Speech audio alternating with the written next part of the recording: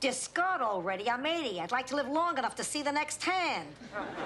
Don't need to, Ma. Gin. You're taking advantage. You know I'm whacked out on blood pressure medicine. Honey, if the medicine bothers you, change the prescription. I like being whacked out.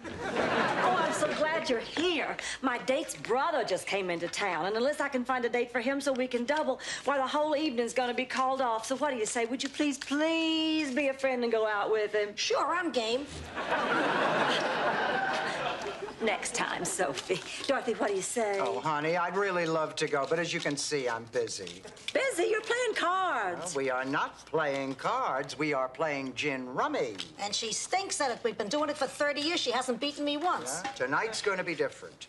Tonight, the 30 years of humiliation ends. Ooh, I'm so scared. My dentures are chattering. Hi. Oh, Rose, honey, are you up for a night on the town with two handsome, eligible bachelors?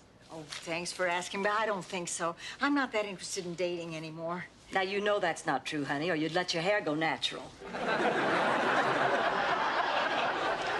You know what my problem really is? I'm spoiled. I had a long and wonderful marriage with the perfect man. Everyone seems so ordinary after Charlie. Honey, it's just for dinner, and Charles would want you to eat. Oh, Rose, be a friend. If you don't go, I can't go. I know I'm going to regret this, and I know I'm going to have a miserable time, but I'll go. Oh, that's the spirit. I'll go call the boys. Rose, why do you look so depressed? I'm tired of going out and not enjoying myself. All the men I meet act so old.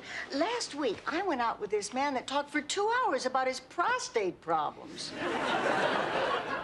I lived in Minnesota for 51 years. I never even heard of a prostate. Honey, they don't have them there. It's too cold. Dorothy, you should be going on this date. At least you'd have some fun. Nothing could be more fun than beating my mother at cards tonight. What's the name of the game? Gin. Gin.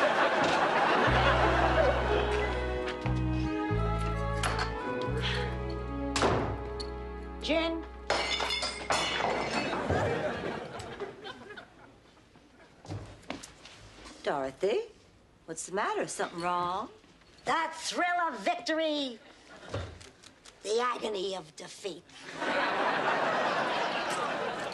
I don't know why you play cards with your mother. It just makes you crazy. You're absolutely right, Blanche. This has gone on far too long. Mom, I am not playing gin with you anymore. You'll be back. You know why? You're too competitive. It's always been your worst feature.